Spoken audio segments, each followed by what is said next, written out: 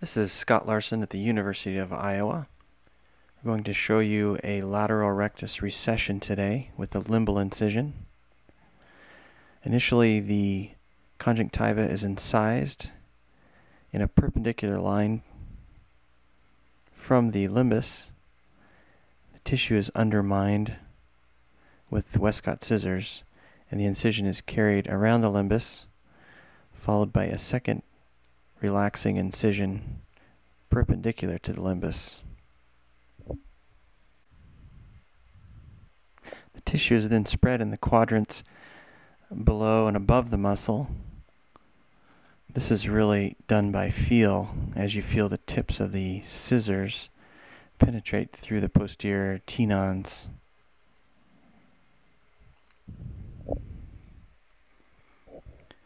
A von Graefe hook is then used to hook around the muscle.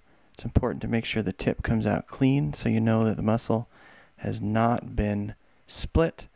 A green hook can then be used underneath the muscle to hold it in place while the dissection is performed. In this case, sharp dissection is being performed initially to expose the muscle poles. Any bleeding vessels can be cauterized using bipolar cautery.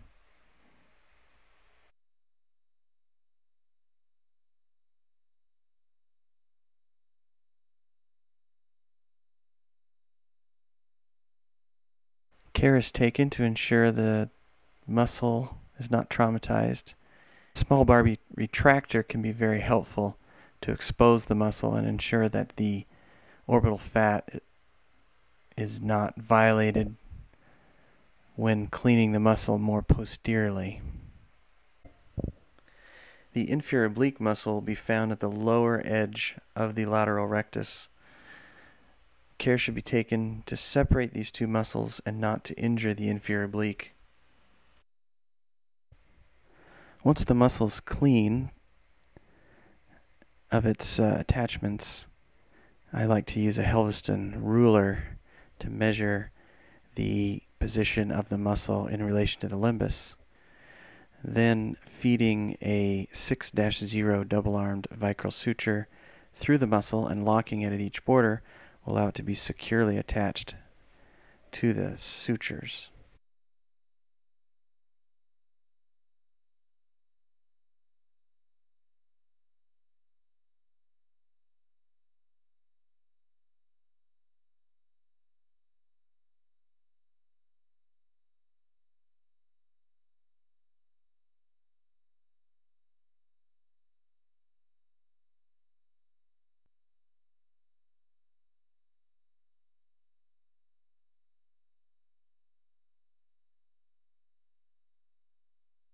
Care should be taken to remove the muscle from the sclera so that the sutures are not cut and the foot plates can also be trimmed under the muscle belly.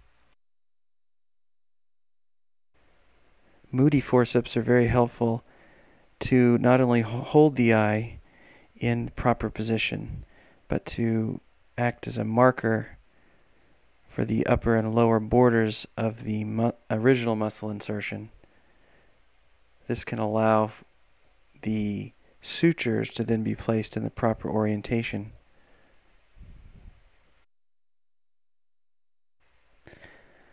It's safest to approach the sclera with a flat needle.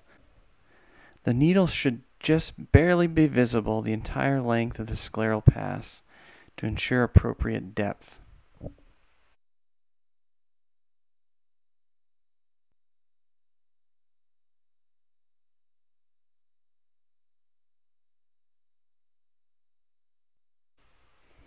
Once the muscle is in the proper position, it can be measured again. If the muscle is too close to the limbus, it could be let out at this point in time.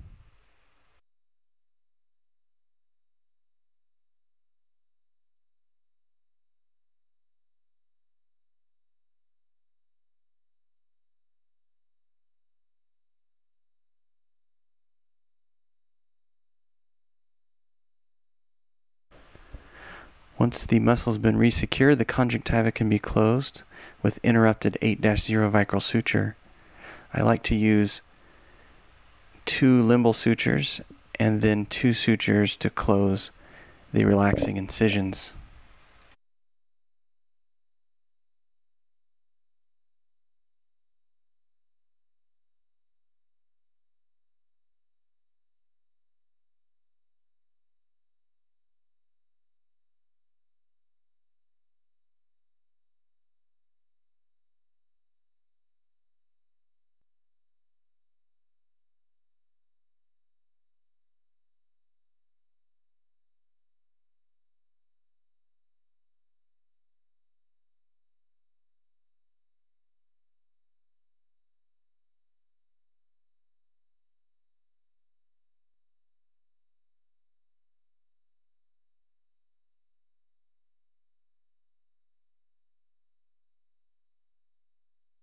You can see at the end of the case with this technique, the eye looks fairly quiet.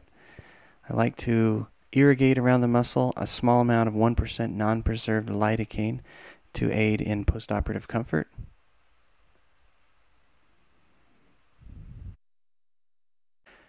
This is Scott Larson at the University of Iowa, and this was a lateral rectus recession. Thank you for watching.